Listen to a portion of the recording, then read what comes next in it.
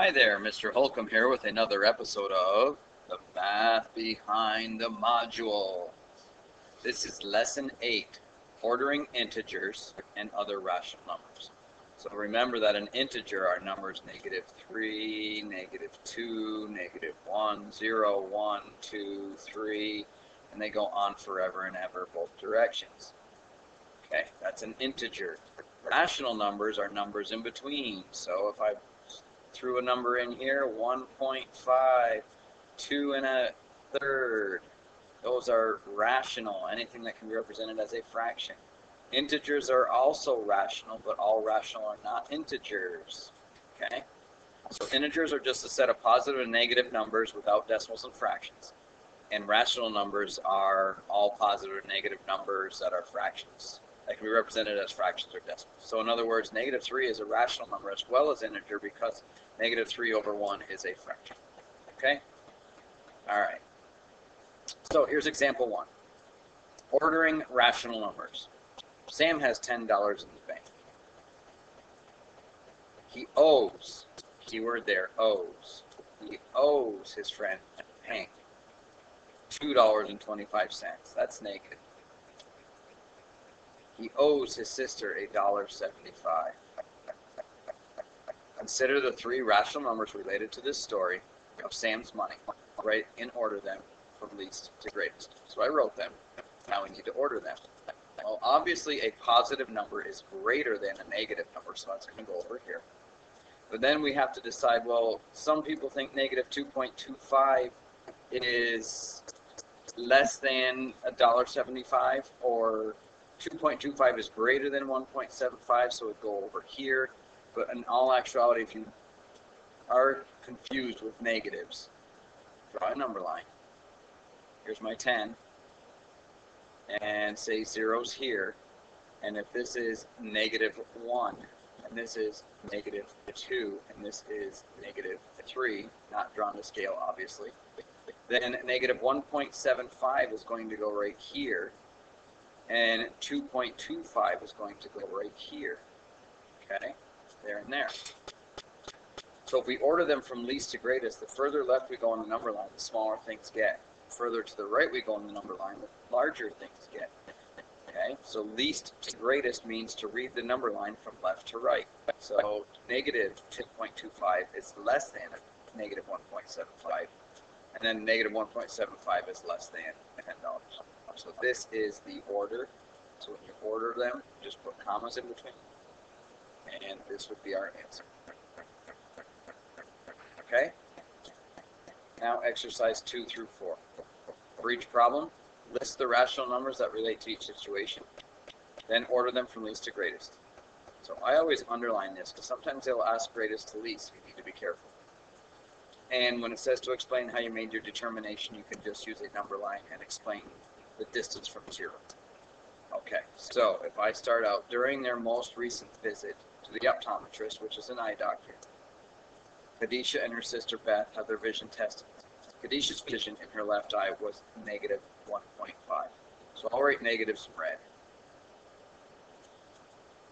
Okay, and her vision in her right eye was the opposite number. What's the opposite of negative 1.5? 1.5, positive.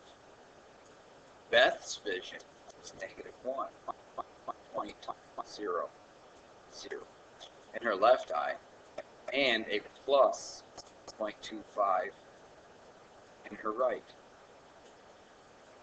Okay, so I listed them. So it said, list the rational numbers.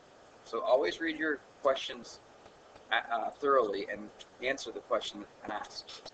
Okay, and then if you're still not sure about this least to greatest stuff, draw a number line. Here's my number line. And my largest number is 1.5. So if I put 2 here, and I like to leave a lot of space so we can see what's going on. And we only need to go out to negative 2. There's nothing less than negative 1. Okay, so here's my number line. So now I'm going to move these to where they belong. So negative 1.5 would be here, halfway between negative 1 and negative 2. Negative 1 is right here I'll just set it right there because that's where it is.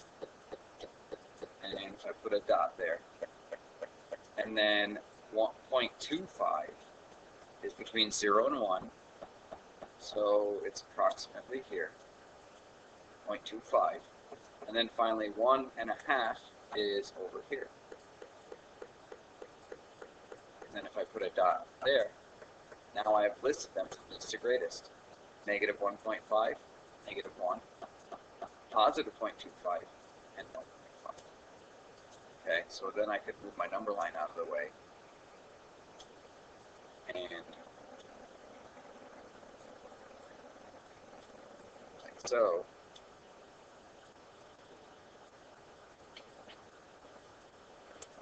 Okay, so now I have 1.5, negative 1, positive 0.25, and 1.5. And we always put commas in between when we're listing. Okay? All right, number three. There are three pieces of mail in Miss Thomas's mailbox. A bill from the phone company for $38.12. Well, if you get a bill for $38.12, um, you owe it. So that's a negative 38.12. A bill from the electric company, negative 67.55. So the first thing we're doing is listing. And a tax refund, getting money back is positive 25.89.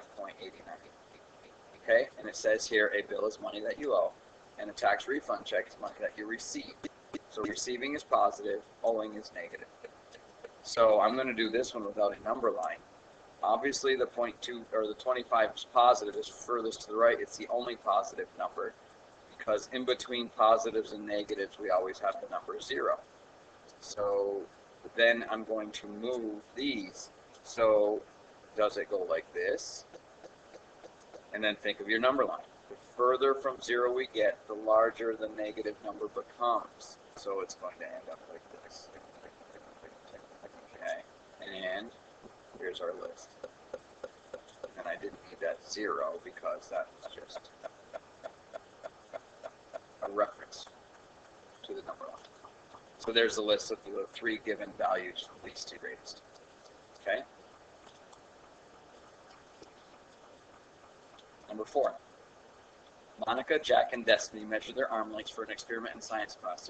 They compared their arm lengths to a standard length of 22 inches. The listing below shows in inches how each student's arm length compared to the 22 inches. Okay, so Monica's was negative 1.8. Destiny's was negative 1 half, which means it was that much less than 22. So Destiny's was 21 and a half inches long, and Monica's was 21 and 7 eighths inches long. And then Jack's arm is longer. His is positive. It's greater than the 22. And his was 23 and 3 quarters inches long. I will do a number line for this one. So if I draw a number line, we're working around the number 22 in this case, not 0. Okay? But 22 is our reference point, 0, if you will. And we want to know how far from 22 these arm lengths are. Okay, so Jack's is positive, so his is over here, one and three quarters more than 22, which would be 23 and three quarters. And then going back the other way, um, so we have negative 1 8. Just doing this so they'll be separate, and a negative 1 half. Now, I might think that 8 is greater than 2, so it's got to go further down this way but I'm going to explain to you how to determine this when you have different denominators. So I, I want to make these all eighths. So if I make a negative 1 8, I can't, don't have to change that. But if I want to make this an 8, make 8 in the denominator, I have to multiply 2 by 4. So if I multiply the 2 by 4, I have to multiply the top by 4, and negative 1 times 4 is negative 4. So now I'm going to put these in order, so let me just move this out of the way. And I'm going to label this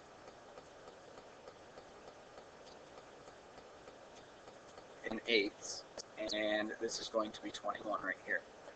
So this is going to be negative 1 eighth, negative 2 eighths, negative 3 eighths, negative 4 4 eighths, negative 5 eighths, negative 6 eighths, negative 7 eighths, and negative 8 eighths is 1, and 1 less than 22 is 21. So then I take my two values that I had, 1 half, which is the negative 4 eighths, and that goes right here, and the negative 1 eighth is over here. Okay? So now when I get rid of these, so now my answer is going to be negative 1 half, comma, 1 eighth, comma, 1 and 3 quarters.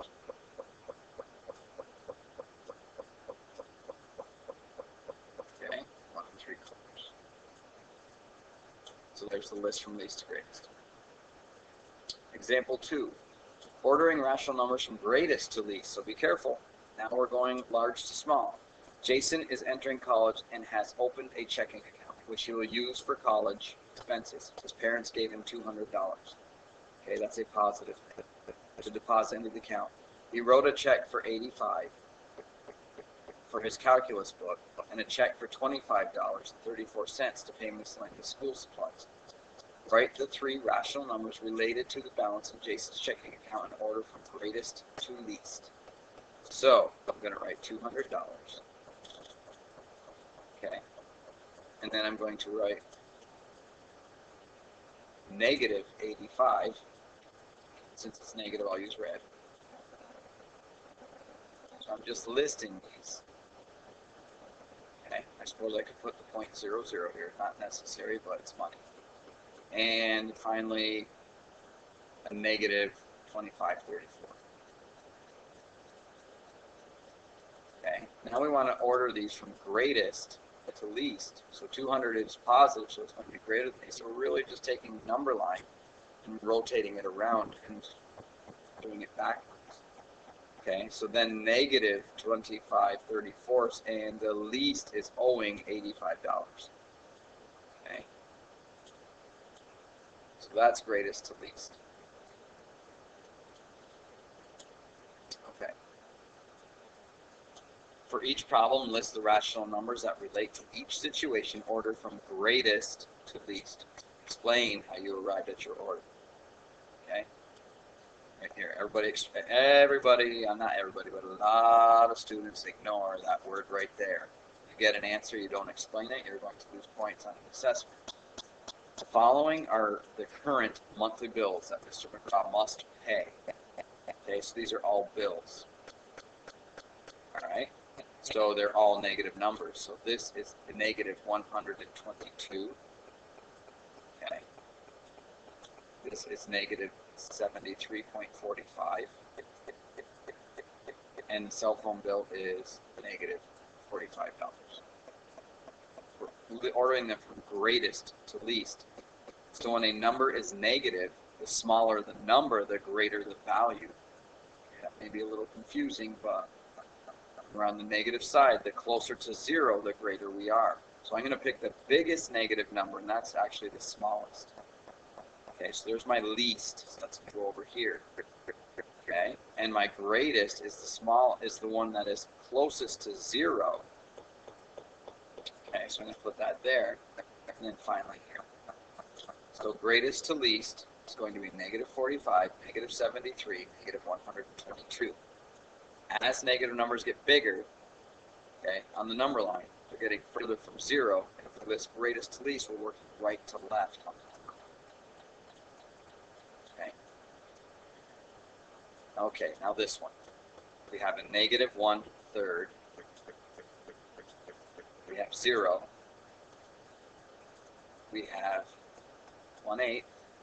We have a negative one fourth. I'm just listing them again, and I'm color coding them positive green, negative red, and I use black for zero. Okay, so there are my numbers. So now I want to order these in greatest to least order. Well, obviously the positive number is the greatest, and zero is greater than any negative number. Now we're dealing with that one-third, one-fifth thing again, where the denominators are different. And if that confuses you, you can turn them into least common multiples and I can say, well, one third negative one third, I want it to be the same denominator of 15. negative one fifth, I can think, so the least common denominator is 15. Okay, so I want to multiply by, not equals here. Want to multiply by something. Okay. What can I multiply by negative one third times something to equal 15 in the denominator? That's what I wanted to write. I take negative one fifth times something to equal